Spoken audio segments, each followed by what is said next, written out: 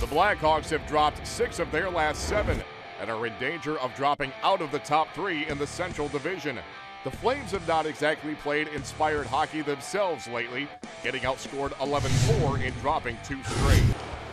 Here's Van Riemsdyk looking for a long shot. Just missed rebound. Oh, what a save, Ortio!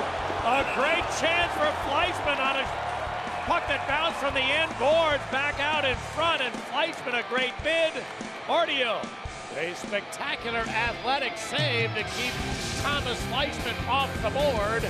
Works into Chicago territory with a backhand, trying to ram, ram it through to the net. The save by Darling. Rebound. He made a second save and a redirect. A decent first save from Scott Darling. A terrific second stop, which was a tip. And he keeps it scoreless with a couple of good ones. Now a turnover, Ladd right in. He scores!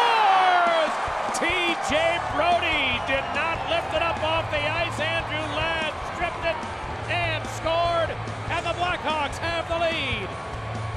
Wants to make amends for his turnover. Here's a shot. Oh, and Freddie Hamilton put it up over top. He gets another chance. Tapped it in front to Dougie. Freddie to Dougie Hamilton, and the Flames have tied it. And really, the Freddie assist was a shake shot. He trying to shoot the puck.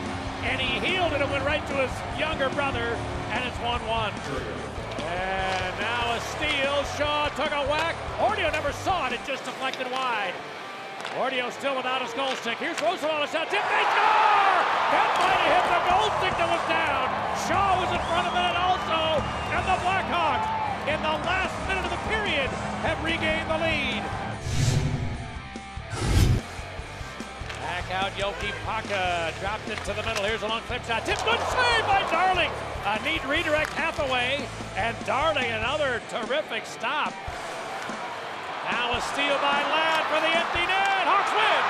Andrew Ladd with 72 left has made it 3-1. His third point of the game. Chicago picks up a 4 1 win to maintain their two point edge over surging Nashville for third place in the Central, as the Hawks prevail for just the second time in their last eight games.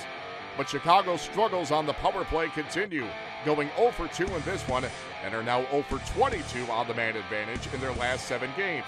It's their longest drought in a single season since a nine gamer back in 2013, which resulted, of course, in a Stanley Cup championship. Marcus Kruger returned to the Chicago lineup after missing 41 games due to a wrist injury and finished a plus two.